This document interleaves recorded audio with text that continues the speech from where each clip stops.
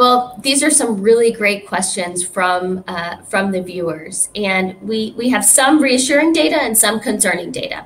On one hand, we have a number of uh, lab studies that show that um, the antibodies that we get from either prior infection or from vaccine do work against a number of the different variants.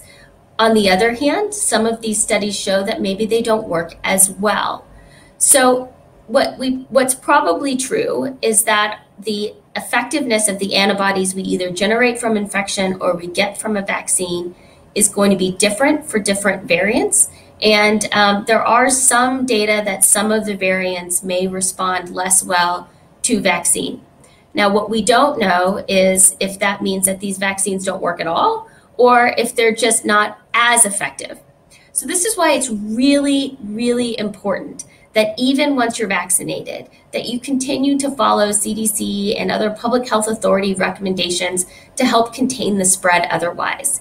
Because even if the vaccine is less effective, if you combine that with mask wearing, social distancing, and the other behaviors that we've done to help lower the spread of COVID 19, we can still see really widespread population effectiveness of vaccine campaigns even if the virus becomes a little bit less susceptible to the antibodies that we're generating.